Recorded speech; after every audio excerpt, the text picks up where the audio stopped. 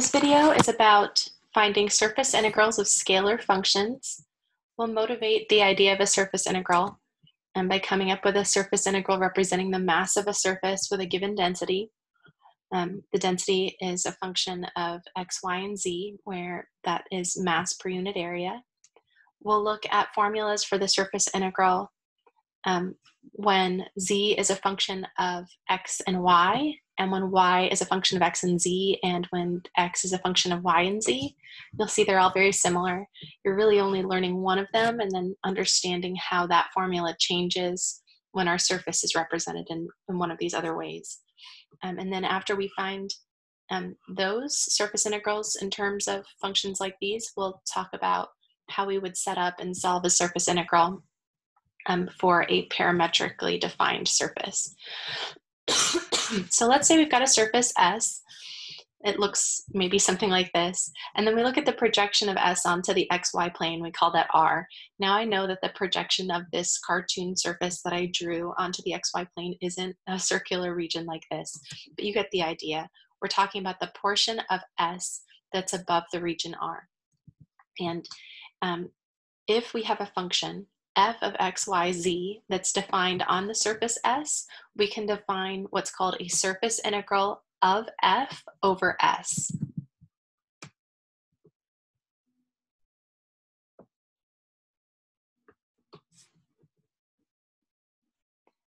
And we're calling this the surface integral of a scalar function because f of x, y, z is just a scalar function. It's not a vector.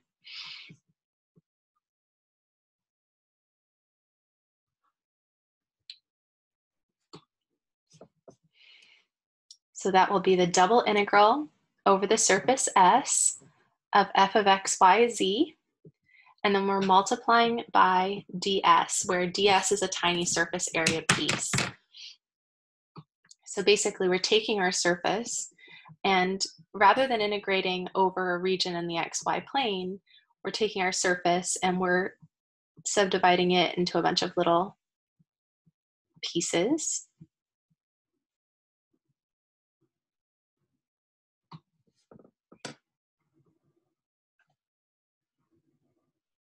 And then we're saying, when we're on this surface, on one of these little pieces, our integrand f of x, y, z is approximately constant. So let's evaluate f of x, y, z at a point um, x sub i, y sub i, z sub i, and then multiply it by the surface area of that little piece, and then add all of those together um, to get this surface integral. Um, so this is our definition of a surface integral of a scalar function. Um, but of course, this is not um, something that you can evaluate. You've got way too many variables. We've got f of x and y um, and z, and we've got this little ds over here.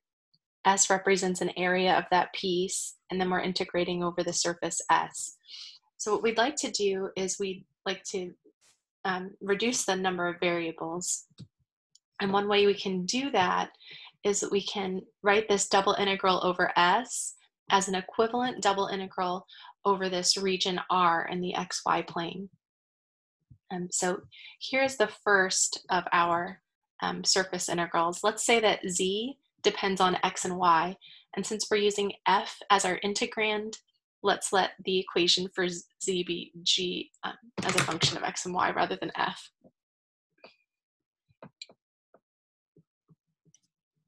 Or if you want, you can just write z of xy. That works too.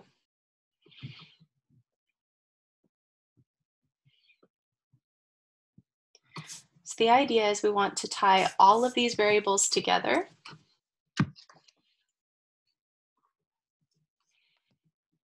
Um, by um, using the fact that z is equal to g of xy when we're on that surface. So rather than evaluating a double integral over a surface, We'll evaluate this integral instead. We'll look at the projection of the surface onto the xy plane. We'll call that r. And then our integrand will be evaluated at x, y, and g of xy. Or if you want, you could call that z of xy. It's whatever z is in terms of x and y. And then we'll multiply by that surface area piece.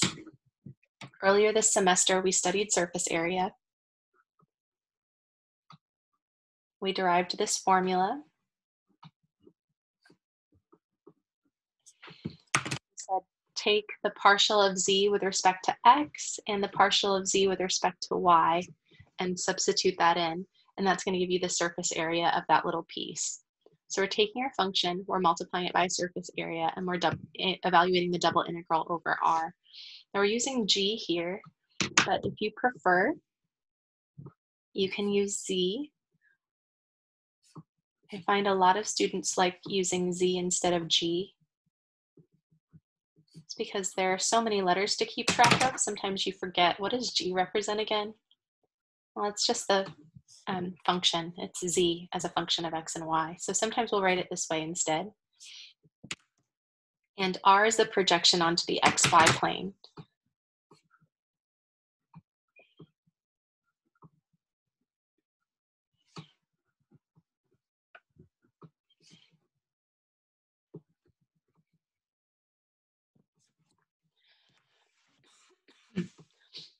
Now, if we wanted to, if z was not a function of x and y, but y instead was a function of x and z, we could do the same thing um, with a surface integral. Except instead of projecting onto the xy plane, the region R in this case, if y is a function of x and z,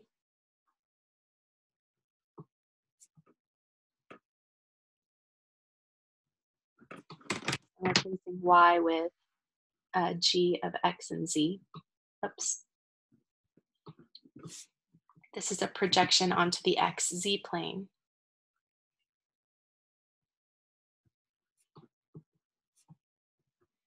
I almost always do this one unless it's impossible to solve the problem another way. There are some problems that, due to the geometry of the situation, um, the projection onto the xy plane um, just doesn't work. Um, we'll see some examples like that. Um, in that case, I might do the projection onto the um, xz plane or the yz plane. And then you can, as you can imagine, the surface area formula changes. If y is a function of x and z, and if you want, you can write it that way, y is a function of x and z, we'll have the partial of y with respect to x here, and the partial of y with respect to z there. And of course, lastly, the third option oops, is that x could depend on y and z.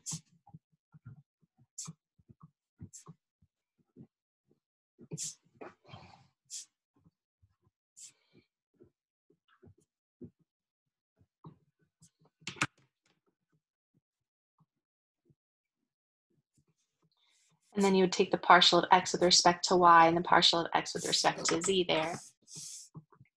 And the region R would be the projection onto the YZ plane. So the idea is we're just eliminating one of those variables by writing that variable in terms of the other two.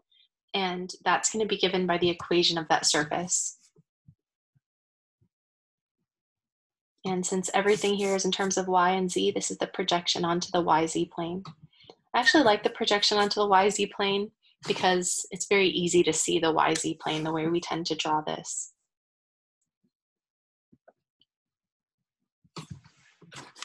Okay, so in practice, all you do is you substitute, substitute those partials, substitute z as a function of x and y, describe the region R, and evaluate the double integral.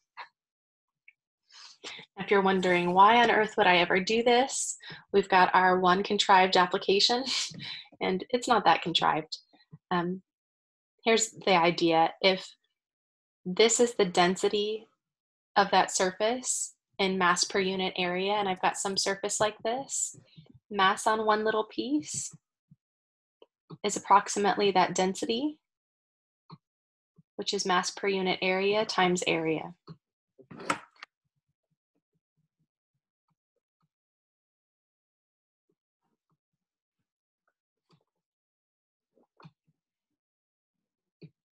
When I add all of those together for every single piece on the surface, that gives me mass.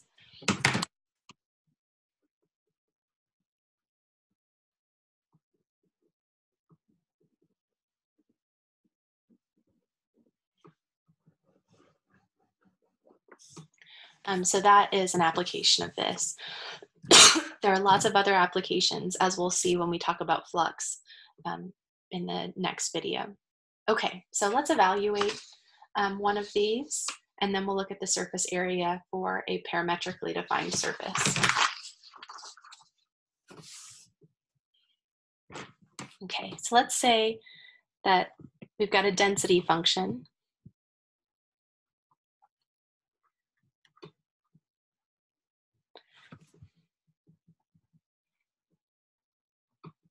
So let's say somebody says, suppose the surface given by the first octant portion of the plane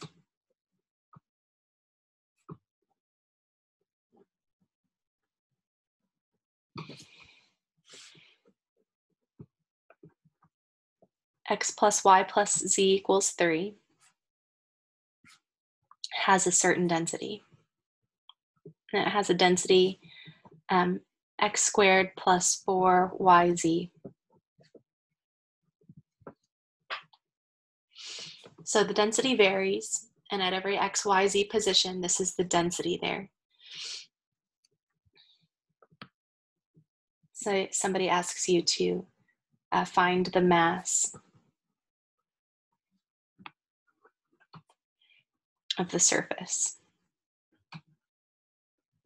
Well, the mass of the surface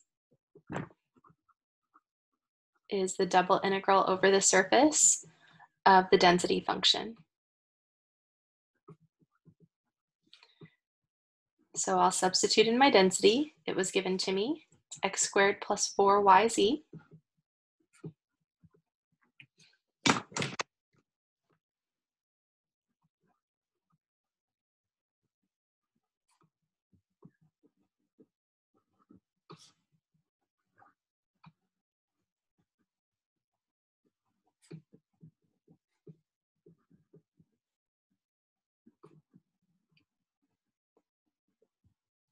And now in order to evaluate this, I need to graph the surface and then look at the projection onto the XY plane.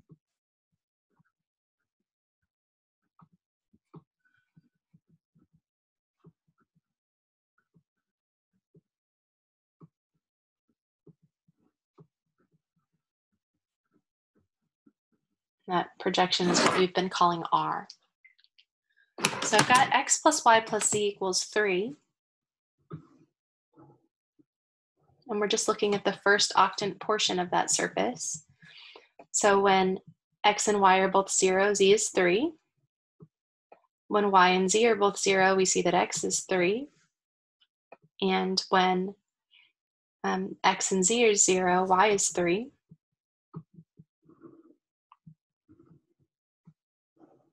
So that's our surface S. And the projection onto the XY plane is that region right there. That's R. We see it includes that back corner, that origin, and it crosses at 3 and 3.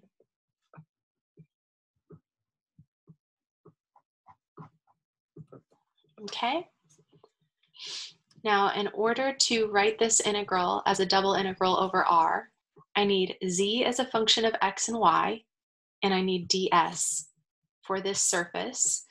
Um, I also need to describe the region R in the xy plane.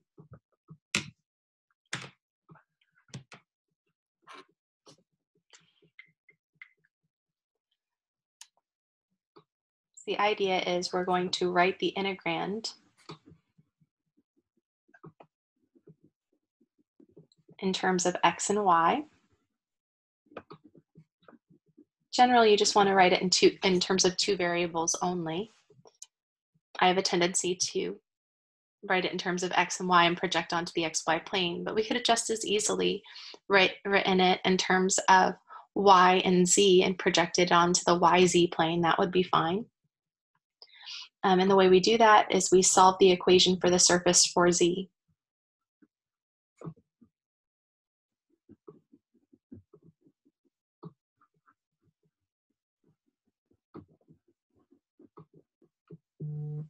and then we substitute. Mm.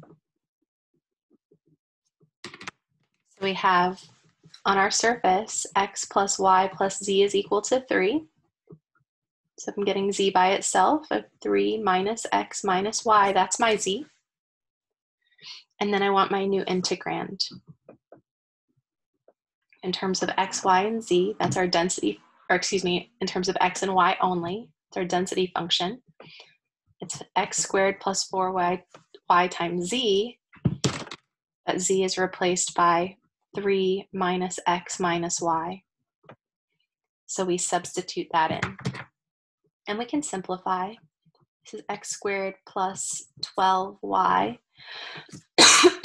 Distribute that 4y minus 4xy minus 4y squared. Okay, so now I've got my integrand in terms of x and y. Now I need my surface area piece. So let's compute ds. That requires computing the partial of z with respect to x and the partial of z with respect to y, and then substituting into the formula for ds.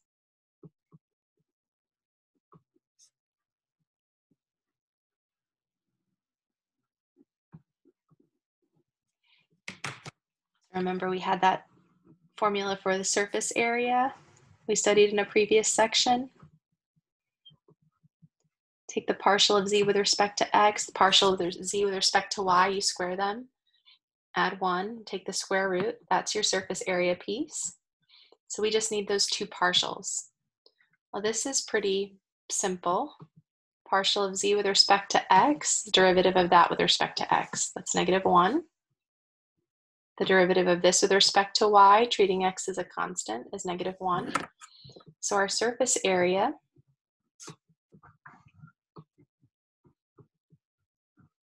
is given by this.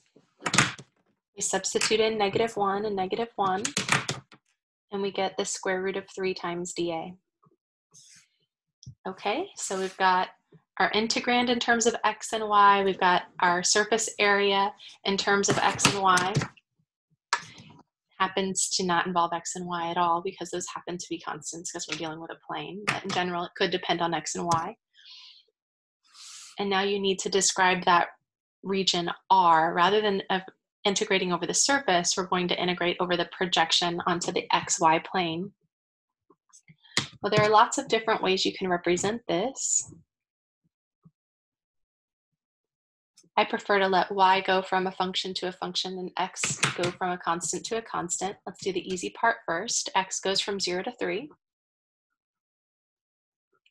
y starts at 0 and it goes to that line. The line has a slope of, well, we go down 3 and over 3, so a slope of negative 1 and it passes through at 3. So we get 3 minus x there. So those are our bounds.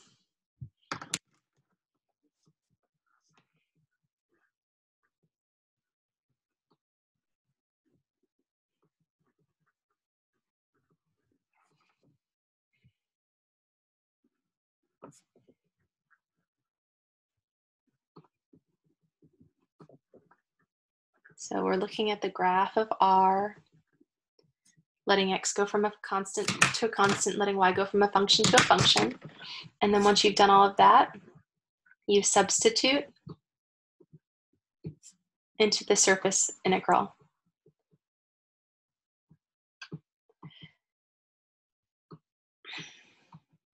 And in this case, it was the integral for mass.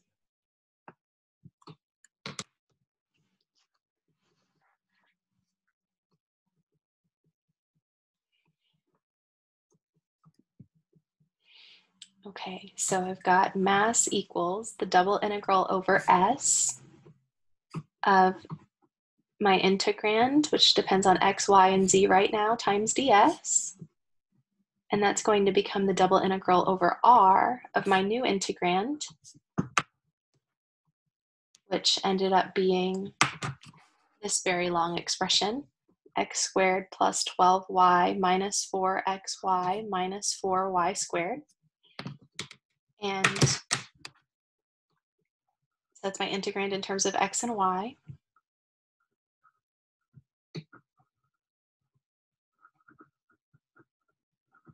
And then we substitute our ds, which happened to be square root of 3 times dA. And then we substitute in our bounds. We said that x goes from 0 to 3 and y goes from 0 to 3 minus x. Just looking at that, y goes from this line to that line while x goes from 0 to 3.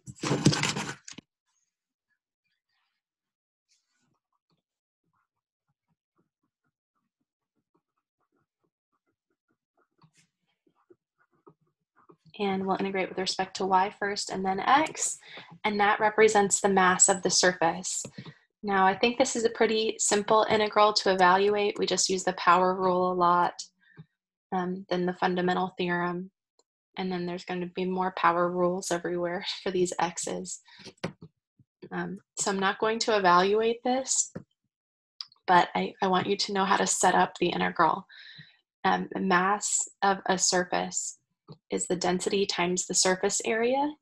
You need the integrand in terms of two variables, surface area in terms of two variables, and then whatever those two variables are, you need to the, the projection onto the corresponding plane, um, and you need bounds for that.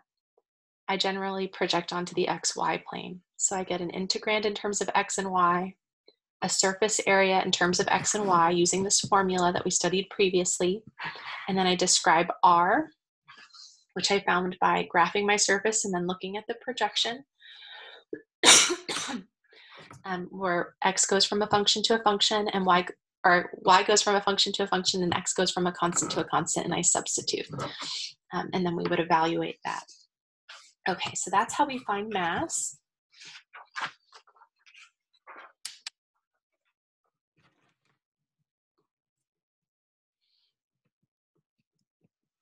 Now let's do one more example like that. Let's say somebody asks you to evaluate this integral. They don't tell you it represents anything, but they just say, evaluate this surface integral where um, z is equal to x squared plus y squared, and the region that we're interested in is the region in the xy plane where x squared plus y squared ranges from um, 4 to 16. Well, the first thing I would do is I would graph this surface. If there were no bounds on x and y, it would just be an elliptic paraboloid facing up. Surface we're very familiar with, x and y are both squared and positive, z is raised to the first. And then Let's think about this, that projection onto the xy plane. Well, x squared plus y squared equals 4 is one bound. That's a circle of radius 2, centered at the origin.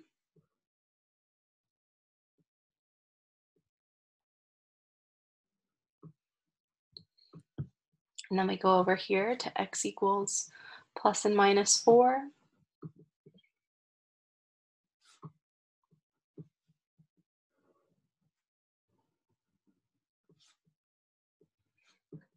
Oops. Trying, not not doing so well.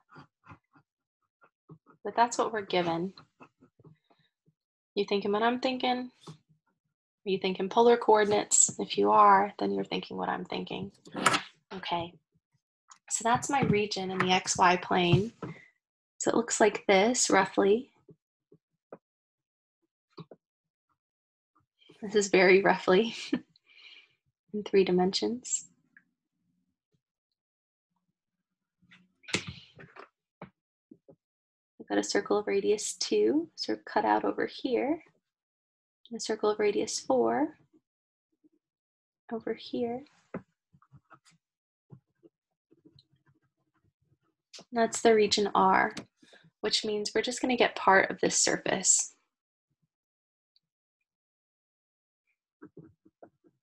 Or surface F, S, excuse me, is the part of this elliptic paraboloid that lies above this.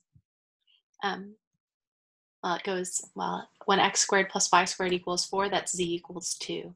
When x squared plus y squared equals 16, oh, actually, x squared plus y squared equals 4 is z equals 4.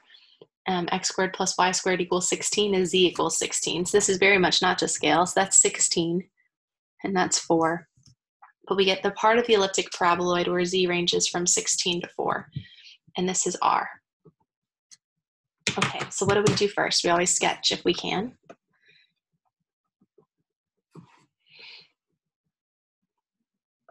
So we sketch the surface S and its projection onto the xy plane.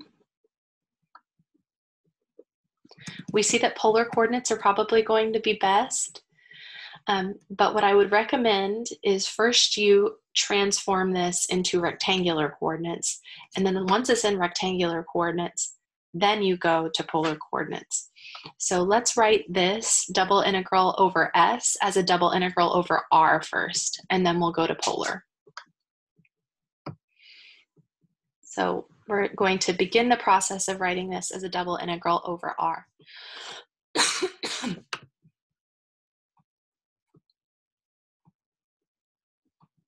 we're writing the surface integral as an equivalent double integral over R.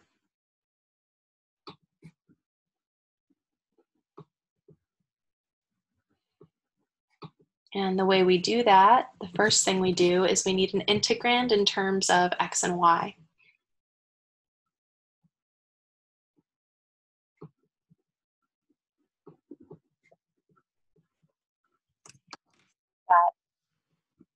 Our original integrand was xy over z, but z is x squared plus y squared. Okay, and now we need ds while we're on that surface. So we'll compute ds, and we want ds in terms of x and y. So we'll state the formula for ds. It's a little surface area piece. And in here goes the partial of z with respect to x, and there's the partial of z with respect to y. And we are on this surface, z equals x squared plus y squared. So I look at this, and I need to compute those two partials.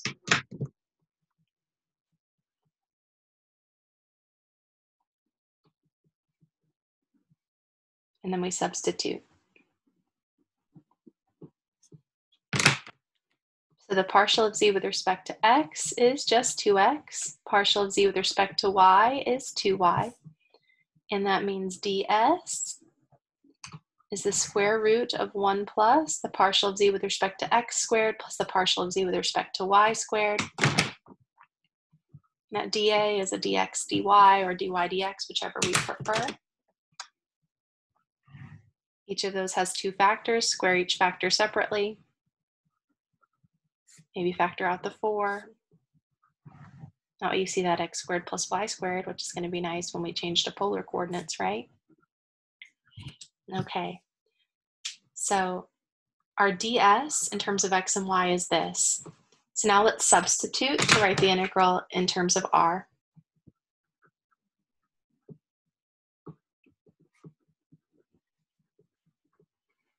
So we want to substitute our integrand and ds in terms of the new variables x and y.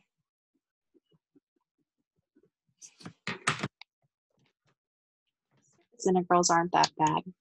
You have this extra calculation, but it's just a lot of substitution, really.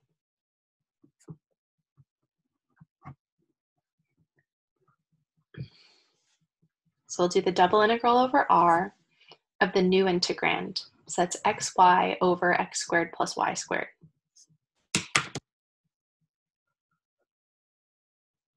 Instead of integrating over the surface, we integrate over its projection onto the xy plane. And then we multiply by dA.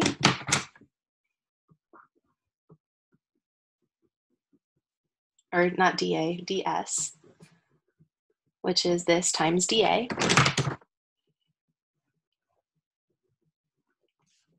And if I want to evaluate this, I'll look at r. It's most easily described in polar coordinates. I would write everything in polar coordinates.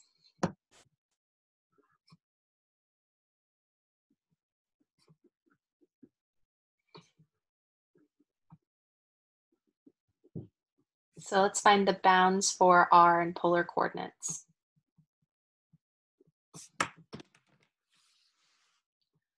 Well, obviously, theta goes from 0 to 2 pi. Theta is an angle that sweeps around the xy plane. And remember, r, when I think, whenever I'm trying to find bounds for r, I'm thinking of concentric circles, circles centered at the origin. r equals 2 is that circle of radius 2. r equals 4 is that circle of radius 4. Isn't that nice? Nice constant bounds. It's so much better than the square root of 16 minus x squared and the square root of 16 or 4 minus x squared.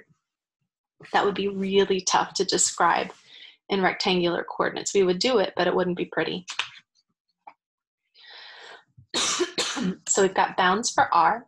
And now we want the integrand of this whole thing in terms of r and theta like this new integrand. I've put a star by it for the, the new integrand.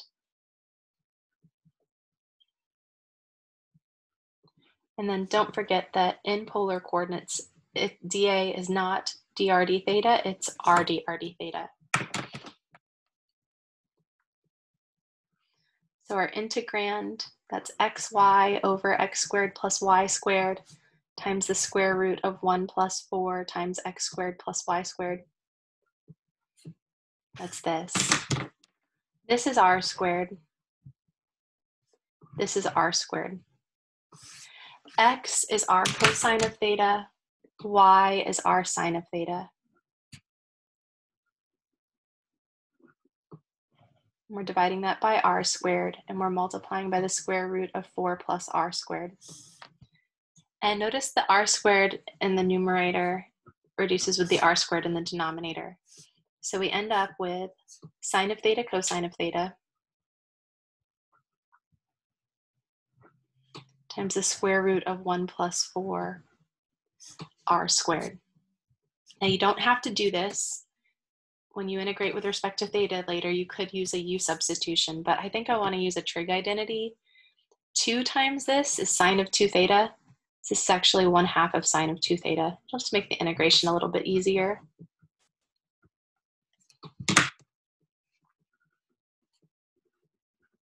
Sine of 2 times an angle is 2 times sine of the angle times cosine of the angle. That's why I did that. And why did I do it specifically is because integrating that is just a tiny bit easier than integrating that. You could integrate that with a u sub 2. That would be fine. Okay, and now our new dA is r d r d theta. Okay, so this integral needs a new integrand, which is right here, a new dA, and the bounds for r, which we found up there. So we'll, we'll substitute all of those.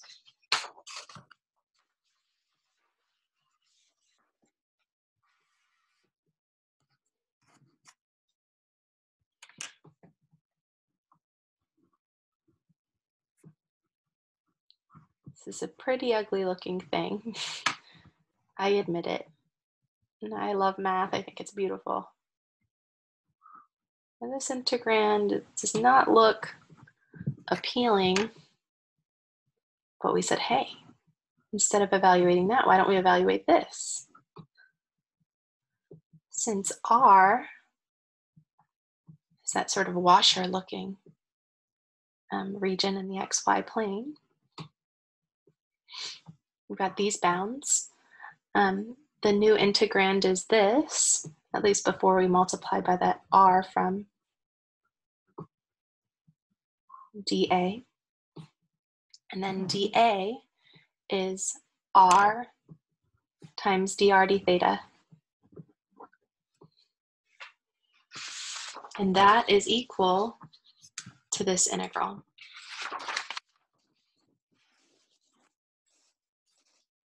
Okay. Now I'll do this uh, relatively quickly because I want to show you a surface integral over a parametric surface before we finish up this video. So I'm integrating with respect to r. So I'll factor out the 1 half and I'll factor out that sine of 2 theta. And I've still got the integral from 2 to 4 of r times the square root of 1 plus 4r squared dr. Just focused right here. Well, that requires a u sub. Let's let u be the inside function to use the derivative of that times dr. I don't have an 8, so I'll divide by 8. I need new bounds. When r equals 4, we've got uh, 16 times 4 is 64, plus 1 is 65. When r equals 2, got 4 times 4 is 16, plus 1 is 17.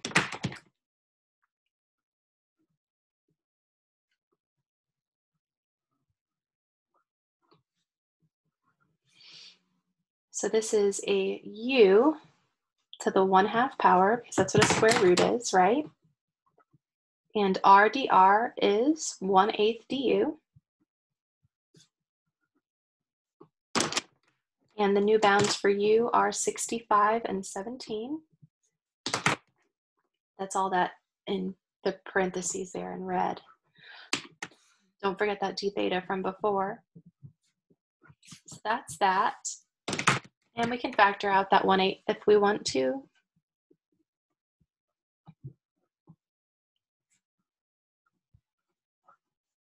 actually, there's no theta here, so we can even factor out the d theta. We'll evaluate this integral separately. And now I've already factored out the 1 8, so I'm just focused on this. So we add 1 to the exponent, divide by the new exponent. Oops, yeah, dividing by 3 halves is multiplying by 2 thirds. Evaluate at 65 and 17. And that 2 thirds times that over here. So we get, well, 2 goes into 16 8 times, so 1 over 24.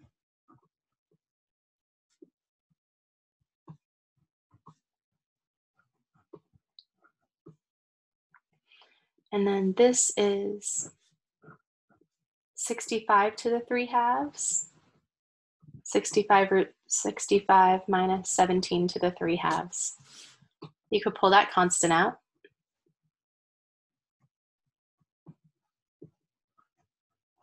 Oops, 65, sorry. And then we're taking the antiderivative of sine of 2 theta. Antiderivative of sine is negative cosine. And since we have a constant inside, we divide by the constant. And we evaluate from theta equals zero to theta equals two pi. Negative one half of this, well that one half can multiply that 24, so one over 48. And that negative times this will just change that a minus b to b minus a. And then we evaluate cosine at 2 pi or cosine of 2 pi times 2. So cosine of 4 pi minus cosine of 0. What? It's cosine of 4 pi. It's 1. Cosine of 0 is 1. All that work just to get 0. All right. sort of anticlimactic. That's okay. What happens? Sometimes complicated integrals turn out to be zero. All right, so we've got one last example. I told you we would look at the equation for a surface integral for a parametric surface.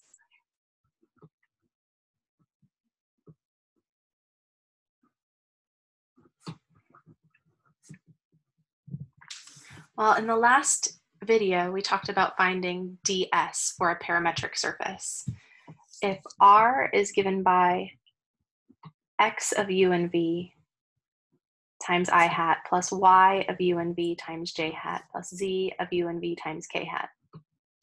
So that's our surface for uv in some region D in the UV plane. Um, we said earlier that the surface area of that surface is given by the magnitude of this cross product times du dv. now that still ha that hasn't changed, except now instead of just adding all of those up to get surface area, we're saying, let's take that little surface area piece and multiply it by a function to get a surface integral. Well, we need one, we need a couple of variables to tie everything together. If we're on a parametric surface, the two variables that tie everything together are u and v. So instead of doing a double integral over s, you're going to look at the double integral over d, that's that region in the uv plane. Then you evaluate your function, your integrand, in terms of u and v. So you've got x as a function of u and v, y as a function of u and v, and z as a function of u and v. And that surface area piece is just this guy here. And of course, you could change the order on that du dv, but it's sort of exactly what you would expect.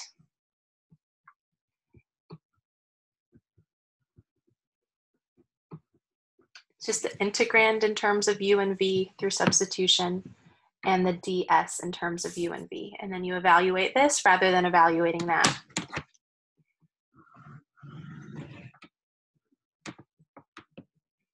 So that's our formula for surface integral of a parametric surface.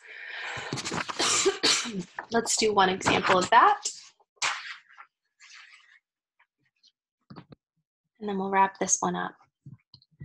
So let's say our integrand is pretty simple.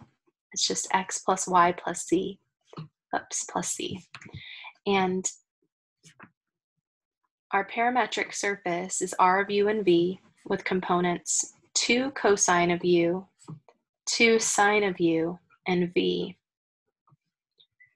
where v ranges from 0 to 1 and u ranges from 0 to pi over 2. Okay. Now, in order to visualize what I'm doing, I need to graph my parametric surface. That's my x, that's my y, and that's my z first of all, I notice right away that the x and y have a cosine of u and a sine of u. So if I square those and add those together, I should be able to use that trig identity, sine squared plus cosine squared is 1, to simplify. So my x is 2 cosine of u. My y is 2 sine of u. And watch this. Square both factors separately. When you factor out that 4, we get cosine squared u plus sine squared u. And that's, of course, 1. So what did that simplify to? Ignore all this calculation. It's just x squared plus y squared equals 4.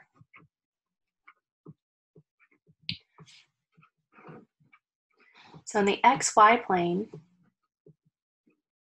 it's just a circle of radius 2 centered at the origin. Now, if you're saying to yourself, Oh, what is the surface though? That's just a curve. You're absolutely right. How, how do we include z in this formula? Actually, we can't. We don't. Um, if we're thinking of this as a surface, and we absolutely should be thinking of this as a surface, this is what we see in the xy plane when z equals zero. And z does equal zero at one point because z and v are the same thing.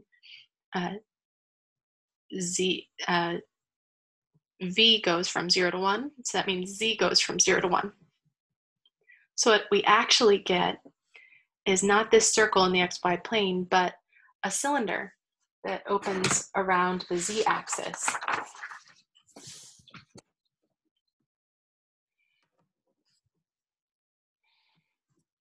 So I was asked to integrate f of x, y, and z equals x plus y plus z.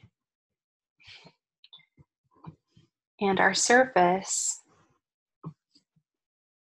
is the, um, the cylinder of radius 2. The projection onto the xy plane is pretty simple. It's just that circle. But z goes up to 1 because we were given this.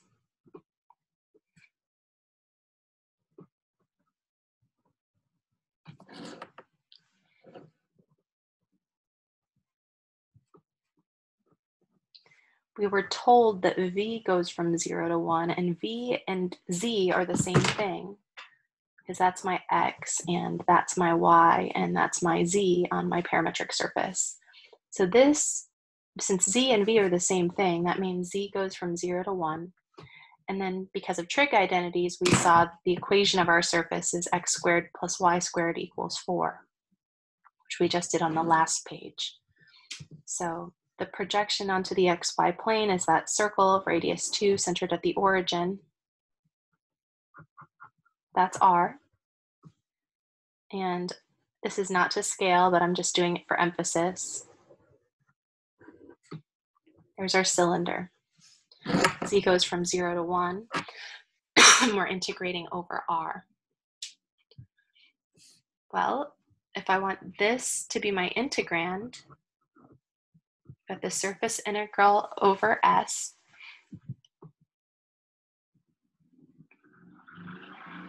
of f of x, y, z ds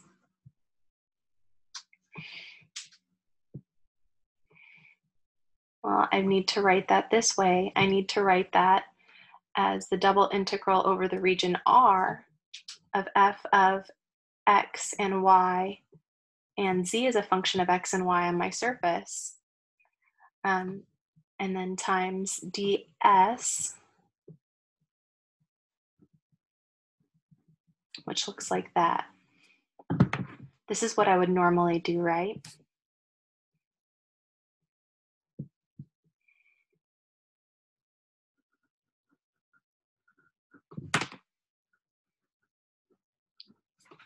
Do you see the problem? I don't be careful. Don't solve this for z. The equation of the surface doesn't have a z in it, so I can't get a z as a function of x and y. And actually, um, when I'm on this curve, z is free to be anything, so it's definitely not a function. z is not a function of x and y because like every xy pair down here corresponds to infinitely many z values. Um, so this is a case when it may, might make more sense to project onto the YZ plane. So rather than doing this, let's project onto the YZ plane.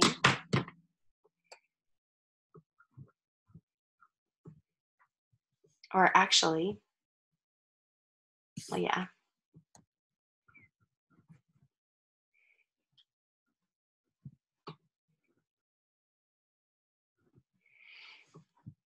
So we'll, if we project onto the YZ plane, that means we need X as a function of Y and Z.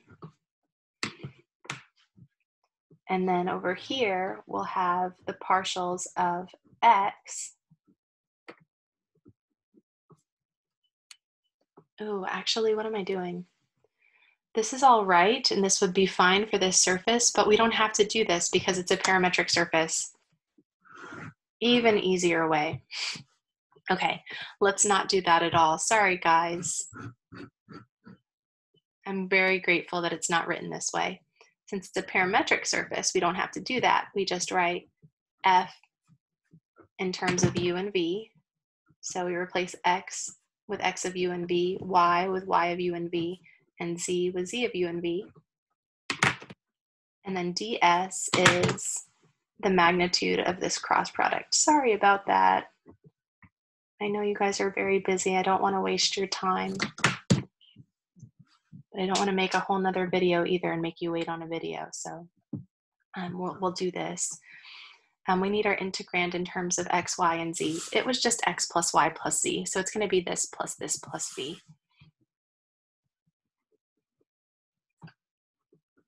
There's my x plus my y plus my z. And now I need this integrate or this um, surface area piece in terms of u and v. So I need to calculate that. The partial of r with respect to u comes from taking the partial uh, partials of each of those components with respect to u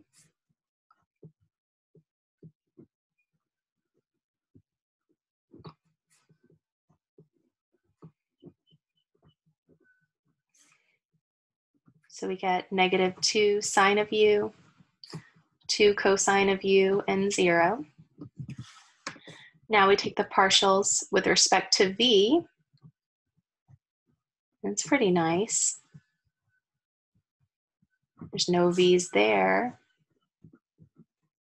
No v's there. And that one's looking pretty simple.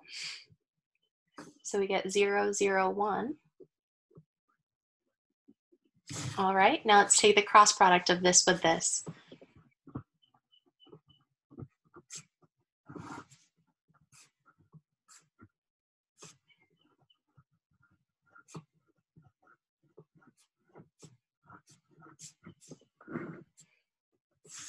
Cross out the row and column containing i hat, and we get 2 cosine of u.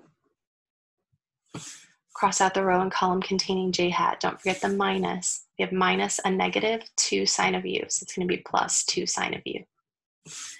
Cross out the row and column containing k hat, 0 minus 0. I don't know about you, but I can tell that that is a vector with length 2 Let's prove it. Take the components, square them, add them, and take the square root. Of course, that zero squared doesn't do much.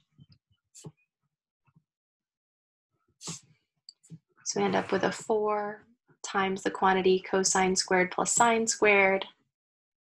That's nice. That's 1. Square root of 4 is 2. So our ds turns out to be 2 times du dv. That's very nice. Okay, and then the bounds were given to us. They told us that v went from 0 to 1, and oh, I didn't, forgot. The bounds for u were right here. u goes from 0 to pi over 2. Wait a minute. If u goes from 0 to pi over 2, that's not our region R.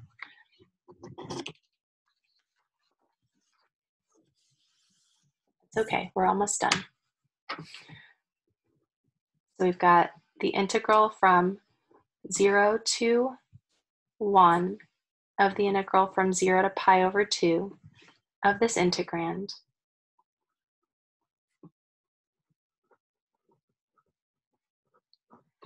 times 2 times du dv. And that's so simple that I'm going to let you evaluate that. And remember that represents the double integral over the surface of this. We would have had to do it this way if we were given x squared plus y squared equals 4. We'd have to look at the projection onto the yz plane or the xz plane because there's no um, there's no z in that equation. But since we were given the surface parametrically, we could do this instead, which is very nice. This was pretty easy. That's just x plus y plus z, and in terms of u and v, that we computed. So find the two partials, cross product, find its length. That goes here. Now, you just got to evaluate this integral over the stated bounds. But I want to correct this picture. This picture is wrong. Picture's close to right, but it's wrong x squared plus y squared plus equals 4 is that equation. But if u goes from 0 to pi over 2 rather than 0 to 2 pi,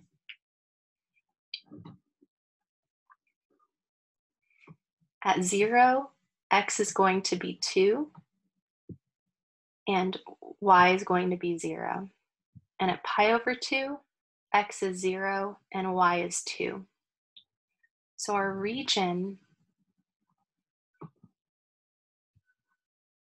um, in the xy plane r would be this. So it wouldn't be too bad. Well, it is bad because that doesn't involve a z. oh, and so, so, we'd be in trouble there. Um, but that's actually the region that we're integrating over. We're integrating this um, function. Well, that's what the, the region looks like in the xy plane but we actually end up with integrating this function over this part of this surface. It's just the part that goes from here to here. So like that's the surface that we're integrating over. Okay, all right, so it doesn't actually affect the integration, but we write in the stated bounds for u and v. We have our integrand in terms of u and v. That was our x, that was our y, and that was our z. And then that is this piece, which required taking two partials, taking a cross product, and finding its magnitude. Okay, so let's briefly review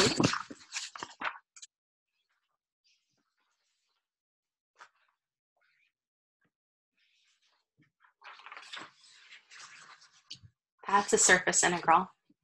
If this represents density, this gives us mass. We've got mass per unit area times area. I can write this three different ways. I can project onto the xy plane by writing the integrand in terms of x and y. I just need to find z as a function of x and y here and take its partials with respect to x and y to get surface area if z isn't a function of x and y, but maybe y is a function of x and z, you do the same thing, but you project onto the xz plane and you replace y with that function of x and z. Then you take the partials of y with respect to x and z over there for your surface area piece. Or if x is a function of y and z, you could do this. That's how we handle that. Now, if our surface is a parametric surface, this surface integral is written this way. You write the integrand in terms of u and v by making a substitution. You just take the x component, y component, and z component of r and you substitute them in. And then you find the surface area of one little piece over here by computing a couple of partial derivatives, taking a cross product, finding a magnitude, and then just substituting it in. And so we get something like this. The bounds are usually stated for that parametric surface, and you just evaluate the integral.